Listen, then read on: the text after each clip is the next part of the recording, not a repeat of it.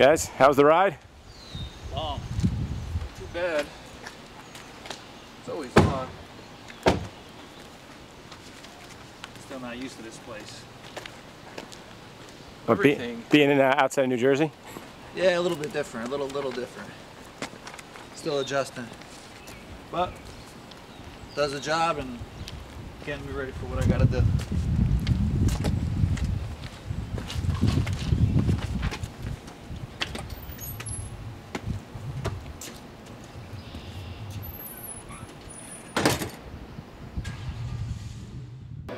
Uh, Mike Massenzio up uh, today to, you know, try some of this stuff, and you know, hopefully it pays off for his fight. we don't really tailor towards a sport. We tailor it towards how each athlete moves. So an MMA fighter, you know, such as Mike's going to have a, a certain set of skills that he has and he's able to utilize, and we're going to capitalize on, on what his strengths are. We're also going to improve his weaknesses. And when I mean weaknesses, I mean how he turns muscles on and off. Can he do that at velocity? Can he do it in the correct position? And then can he do it over and over and over again? So those are the things we're always trying to work on in here. And then we, we put in the, the emotional, we'll, we'll make it a battle for him. And, uh, and when you can do that in extreme situations, there's a great transfer to any sport.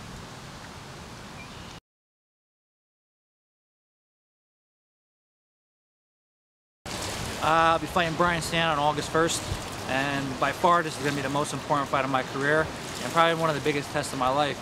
It's going to really, you know, this is it. You know, Eh, you know, winning I'm in. You know, you know, take another loss could could possibly be potential the end of my, you know, UFC career, and I'm not even. I don't even think of it like that. You know, Brian Stann's a great competitor. You know, top athlete, top fighter in the world, and you know, just one step at a time, and just going to give it everything I got.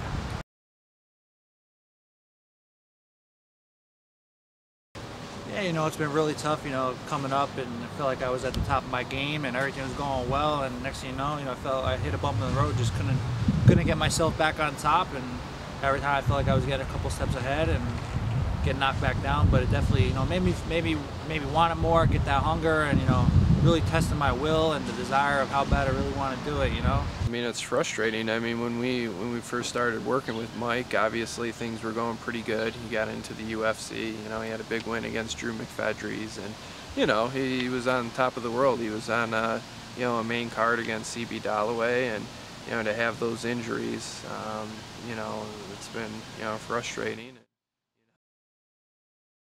You know, my wife is very supportive. We have a six-month-old. You know, I have a daughter now, and you know, she's the inspiration of my life. You know, she really. Every day that I, you know, I, I want to give up sometimes, and every day that I feel like it's a little bit too much, you know, I look at her and I wake up and I see her, and you know, to see that little smile looking at me, and you know, it makes me makes me want it even more. You know. Uh, you know what? It crossed my mind. You know, maybe maybe this is the end. Maybe this is just you know it's been too much. But you know, it, if for big rewards, you know, it takes big risks, and you got to really you know dig down deep. And you know, I coach wrestling, and I tell my kids all the time, you know, if it was easy, everybody would do it, and you know, for it, it, it makes it worth it even better in the end.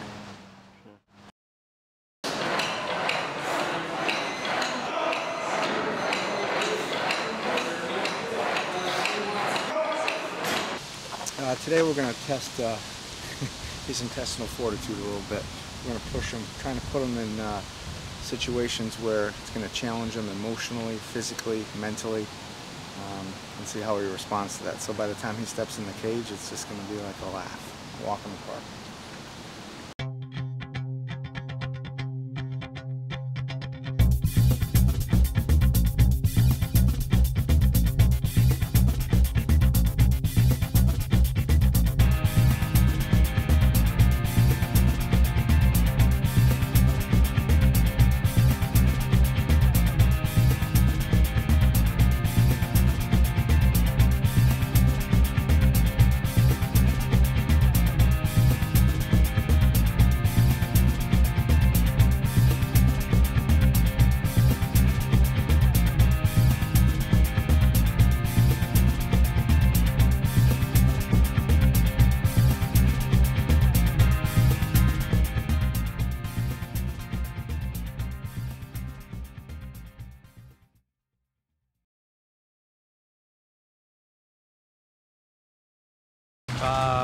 Be up here about six weeks left. Six weeks left in the camp, and just training her with these guys. You know, best way to put it is, you know, you got I got to put myself around people that want to accomplish the same thing as me, and uh, I'm just completely taking myself out of my element. You know, surrounding myself around the best things I possibly can, and just gearing for this fight. you know, he's always had a training camp, but a true training camp where he can focus on things and just, you know, get away from, you know, the things he was exposed uh, to before. And, and, and uh, you know, everything worked before. It was just too much on his plate. And, you know, we're, we're doing things a little bit different with the, with the strength and conditioning. Um, you know, we brought in uh, Want to Get Fast, and, you know, they've done great things with, with some of our other guys. And, and uh, you know he's working with a different boxing coach. Um, you know our team boxing coach. He's been with us for a couple years now, and he's he's done wonders. You know with some of our guys, and you know it's just a totally different system. World is definitely different than Jersey, definitely totally different atmosphere, but it definitely, you know, it fits its purpose. You know, it pretty much gives me nothing to do and just worry about training and focusing on Brian Stann. You know, he's in my way and, you know, I got to get him out of there and just just thinking about fighting and training, fighting and training. That's all I think about. You know, I, I, I eat and sleep training and, and, you know, eat and sleep Brian Stann. That's it. He's on my mind 24 hours a day, you know, seven days a week.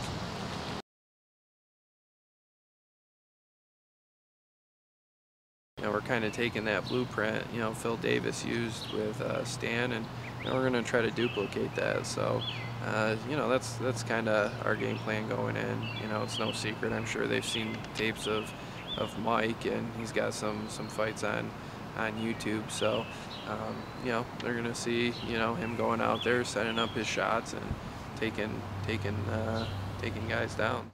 Uh, my game plan is just pretty much going to be, uh, you know, pretty much, you know, weak on his takedowns. Just going to be looking to take him down. And, you know, obviously his last fight against Phil Davis, he pretty much opened him up and really showed that, you know, his takedown defense isn't there. And just working a lot and taking him down and working from there. Look to sub him out. He's really concentrating on this one, and he needs it. So you're gonna see probably the best Mike Massenzio. He's backed into a corner here, and and uh, he's gonna have to perform.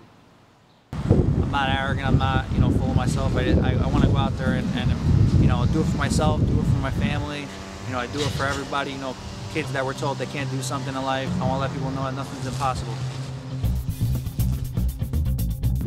They will remember Master Disaster. We're going with that nickname. Is that your- is that the name? Yeah, yeah. Master Disaster. Master disaster. Nice.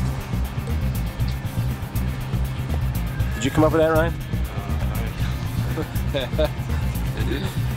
Uh, well, we came up with some some other ones. Nothing really rhymes with Massenzio. Master Disaster.